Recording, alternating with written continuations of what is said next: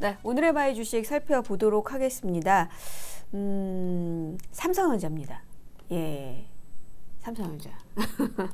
자, 오늘의 실적이 어떻게 나왔는지부터 한번 살펴보면서 우리 얘기를 한번 나눠보도록 할게요. 실적은 일단 한마디로 말하면 예상치를 상회했다. 그렇죠. 예, 그거를 좀 보도록 하겠습니다. 잠깐 정리를 해보도록 하죠. 전 영업이익이 6조 어, 5천억 정도 요렇게 4천억 원. 5천 4천억 원 네. 요렇게 된 걸로 지금 집계가 되고 있는데 컨센서스는 저는 뭐 6조 2천억 정도 왔다 갔다 왔다 갔다 하는 걸로 알고 있었어요. 맞습니다. 어, 그거보다는 훨씬 잘 나왔어요. 다만 음, 6조 원 요 정도면요. 그러니까 정말 실적 안 나온다 안 나왔을 때 최근의 실적 성적표예요. 음, 예, 예, 고기랑 비슷하게 나올 것으로 예상을 했는데 그 정도 나왔다. 근데 어, 지금 보면 어떻게 보면은 어, 6조 원 미만으로 나올 가능성도 보는 증권사가 꽤 많았기 때문에 네. 선전했고 예상치를 상회했다는 것 자체만으로도 매우 대단히 잘했다라고 얘기를 하고 있습니다. 다만 영업이익이 한11% 나온 걸로 보여요. 이것도 최저치인 것 같아요. 2016년 이래. 음. 이렇게 좀 나오고 있어서 어 그냥 절대적으로 봤을 때는 안 좋았다라고 볼 수가 있지만 그래도 1분기에 안 좋을 것이라고 예상했던 것보다는 그래도 성적표는 괜찮았다라고 보고 있습니다. 그렇죠. 네. 1분기 어, 일단 삼성전자가 주력하고 있는 어, 반도체에 대해서는 전망도 밝았고 아, 그래도 좀 기대감도 있었던 그런 섹터였음에도 불구하고 코로나19 사태가 좀 겹치면서 어, 삼성전자의 주가도 많이 하락을 했고요. 현재 예상치도 계속해서 줄어들고 있는 상황이었습니다. 6조 2천억 원대로 컨센서스가 나왔다고 하지만 어, 안 좋게 보는 이렇게, 쪽에서는 예, 5조 계속 원대까지도 보고 있었거든요. 5조 8천억 원대까지 네. 얘기가 나왔었어요. 그렇게 네. 점점 이 예상치가 내려간다는 관점에서 봤을 때 일단 이번에 조금 진짜 안 나올 수도 있겠다라고 많은 분들이 생각은 좀 하셨던 것 같아요. 음. 그렇기 때문에 삼성전자의 주가도 많이 밀려 있었고 대신 오늘 반등의 크기가 좀 더 세지 않을까 했는데 제 예상보다는 좀 약한 것 같아서 음. 그건 조금 아쉬운 부분이긴 한 것 같아요. 네. 근데 그 예상치가 계속 어, 내려가고 있었다는 점에서 봤을 때 이제 1분기 실적은 뭐 발표가 됐다고 보고 2분기에 대한 전망도 좀 살펴봐야 될 것 같은데 그게 조금 저는 걸려요. 그 부분 때문에 오늘 탄력이 좀 약하지 않나. 우리나라가 코로나19, 그러니까 중국 쪽에 코로나19가 창궐을 했던 게 2월 말이었나요? 2월 중순, 정도였어요. 우리가 2월 완전히 중국에서 시작된 예. 거는 2월 한 초나 뭐 1월 말 정도였던 예, 것 같고 2월 우리가 초고. 조금 심각하게 인지하기 시작한 게 2월 중순으로 저는 기억합니다. 2월 중순 예. 정도. 어 그러니까 이제 사실 우리가 계속 얘기했던 게 디램 가격이 계속 올라간다라는 부분이었고 그러면 수요가 얼마나 될 것인가 이게 코로나 19 때문에 수요가 더 크게 줄어들 것이다라는 얘기였으니까 네. 그러니까 1분기에 영향을 받은 건 좀 확실히 많네요. 그러니까 그쵸. 2, 3월 정도 1월 달 그러니까 3월이 특히 안 좋았고 2월은 뭐 중간 정도 된다고 하더라도 1월 정도는 그래도 어느 정도 우리가 생각보다는 많이 반도체 쪽에서 실적이 나오지 않았을까라는 생각을 하고 있고 그리고 사실 예상치 그러니까 6조 2천억 원 이상의 예상을 했던 증권사도 있었거든요. 음. 어 그러면은 그쪽에서 보면은 그쪽의 이야기를 들어보면 생각보다 핸드셋이라던가 가전 쪽에서 안 나왔을 가능성을 좀 보고 있더라고요. 그러니까 그쵸. 공통적으로 보면 반도체는 생각보다 잘 됐구나.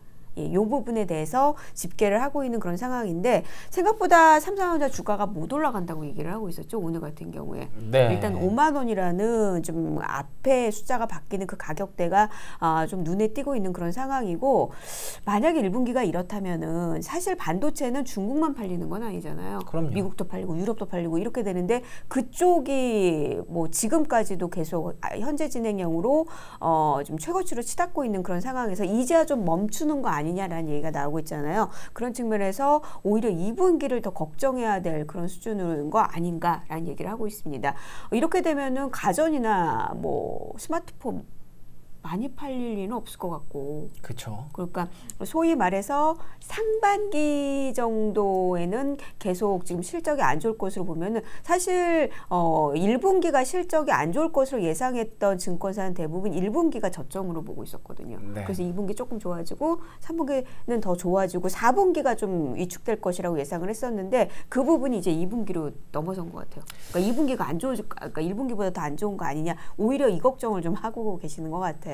저는 예. 근데 솔직히 2분기를 안 좋을 거다라고 예상하는 게 어, 저는 약간 냉정하게 음. 개인적으로 개인적인 생각이 냉정하게 봤을 때 아무도 예상할 수 없는 부분이 아닐까라는 생각은 들어요, 솔직히. 음. 뭐 스마트폰이라든가 TV 같은 경우에 정말 본인이 뭐 살 여력이 돼야 물론 사는 게 맞기 때문에 소비 심리가 악화되면서 어 좀 판매량이 둔화될 것이다. 뭐 광고도 음. 좀 못하게 되면서 그런 측면이 있을 것이다라고 하지만 스마트폰 같은 경우에는 정말 바꿔야 되면 바꾸거든요. 사실 지금 당장 소비 여력이 없다고 하더라도 네, 네. 이게 할부를 해버리면 어, 우리는 뭐 이제 좀 월세 내면 되니까. 예, 그쵸. 네. 보통 다 그렇게 사왔잖아요. 음. 그래서 그런 측면을 좀 고려했을 때 너무 낮게 보고 있다는 거는 어떻게 보면은 좀 기회가 될 수도 있지 않을까 그런 생각도 음. 한편으로 해봤고요. 네네. TV 같은 경우에는 조금 걱정이 되는 게 원래 애초에 예상했던 부분이 어, 올해에 그 중요한 이벤트가 있지 않았습니까? 뭐, 이, 뭐. 이 도쿄 올림픽이라는. 올림픽도 있고. 네. 그런 이벤트 도쿄 올림픽도 있고 그리고 그 유로 대회도 있었다고 얘기를 했었잖아요. 한창 기대를 했던 게 그 유럽 축구 선수권 대회가 여름에 열리기 때문에 그걸 위해서 뭐 TV 수요가 좀 늘어날 것이다. 우리나라뿐만 아니라 전 세계적으로 그걸 좀 크게 보고 싶어 하는 사람들이 늘어날 것이다라고 예상을 해서 잡았던 예상치가 있기 때문에 음. 그것보다는 당연히 좀 낮게 나오지 않을까. 음. 그거는 인정을 해야 될 것 같아요. 반도체는지 모르겠다. 스마트폰하고. 예. 그렇죠. 근데 이제 가격대가 좀 비싼 것들이 아마 지금 어, 사려고 마음 먹었던 게 좀 고가품일 거예요. 우리는 뭐 100만 원, 200만 원짜리를 들고 다니는 거잖아요. 그러니까 네. 거기에 대해서 좀 멈칫하지 않을까 하는 생각도 들고 일단 반도체 쪽에 대한 부분도 지금은 예측할 수 없는 부분이 있기는 하지만 그런 거는 우리가 항상 얘기 들었잖아요. 그러니까 이제 스트리밍 서비스를 한다거나 넷플릭스 엄청 많이 보고 뭐 보고 했는데 다 좀 약간 화질을 낮, 누, 그러니까 낮춰가지고 보는. 그러니까 네. 아마 생각은 있는데 투자를 해서 직접적으로 공급을 받고 그러니까 사고 그런 것들은 하반기나 돼야 좀 본격적으로 나올 것 같긴 맞아요. 그렇죠. 그래서 그러니까 의견은 같아요. 그래서 오히려 2분기에 실적이 안 좋아지면 그때가 더 기회가 되지 않을까라는 건 동의를 하는데 실적이 안 좋아질 것은 좀 걱정은 되거든요. 저는. 음, 음. 그러니까 오히려 근데 이후에 수요를 생각한다면은 어, 좀 더 그때는 또 기회를 마련할 수 있지 않을까. 5만 원은 고민을 하실 거거든요. 지금 5만 원까지 올라가 있는데 이거 고민이 되지 않나 그런 상황에서 이제 2분기 실적까지도 안 좋을 수 있다라는 가능성만 그런 전망만 보시더라도 좀 버거워하실 수도 있을 것 같아요. 네, 알마트님이 말씀해 주셨는데 음. 신제품 출시가 계속 미뤄질 거라는 것도 맞아요. 문제가 될 예, 것 같다. 예. 그러니까 제가 그 신제품을 구매한 사람이잖아요. 음. 제가 이제 2월 달, 2월 말 정도로 신제품 기억을. 뭐 구했죠? 네, 이 스마트폰이요. 스마트폰 이게 뭐죠? 갤럭시 S. S. 어, 어, 어. S. 네, 갤럭시 네. S20 플러스 구매를 했는데 네. 제가 이 그 신제품 몰랐어. 아 정말요? 몰라. 저는 약간 연기하시는 건 줄 알고 어, 나 이거 어떻게 대처해야 되지? 나 지금 고, 고민하고 어, 있었는데 진짜 몰랐어. 어, 예, 예. 저한테 별로 관심이 없으셨군요. 아, 아니 아니 아니 뭘 샀다고 했는데 뭔지를 몰랐어요. 예, 들고 다닌 지한 두달 아, 됐습니다. 그래요? 네, 내 갤럭시 것도- S20 플러스입니다. 내 것도 자세히 안 남의 KT 제니 레드 버전으로. 거. 아, 아 제니 거 산다고 그랬다 맞다. 예, 예, 예. 맞다 맞다. 그렇습니다. 제니라고 해야지 알죠. 아, 네. 예, 예, 죄송합니다. 어, 어, 제가 잘못했네요. 네.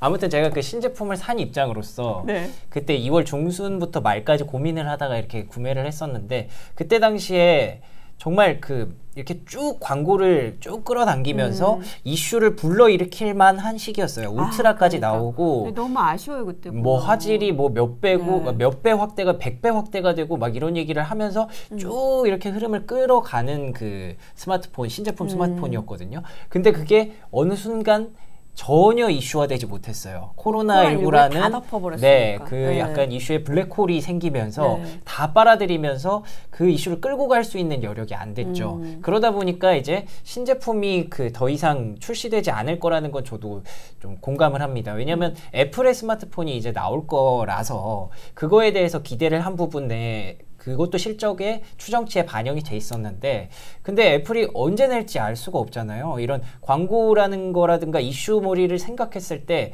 지금 내는 건 솔직히 너무 모험이거든요. 그렇죠. 네. 그래서 오히려 하반기가 이제 좀 괜찮아진다 생각하면 그때다 일제 신제품 낼 수도 있으면 그럴 경- 수도 있죠. 경쟁이 너무 심해지고 네. 이게 같이 이제 맞붙으면은 어, 어 애플 나왔네 아이폰 나왔네 이러면 이렇게 갈 수도 있고 물론 그쪽에 충성도가 높은 그런 고객들이 많다고는 하지만 네네. 고민을 하다가 이쪽하고 저쪽 갈릴 수도 있고 경쟁도 심하고 광고도 많이 해야 되고 이럴 가능성이 있어서 맞아요. 이게 지금 보면은 어 지금 이 출시가 계속 여- 연기가 되고 있다는 것은 사고 싶어도 못 산다는 얘기니. 그렇습니다. 아, 그런 측면에서는 저는 좀 하반기나 가야지 실적에 대한 전망치가 상반, 그러니까 이 어, 뭐라 그럴까 2분기 한 끄트머리는 가야지 좀 구체적으로 전망을 좀 해볼 수 있지 않을까 싶기는 해요. 네. 예. 그런데 이번에 실적이 또 조금 나쁘지 않게 나왔던 것 중에 하나가 우호적인 환율 얘기도 하더라고요.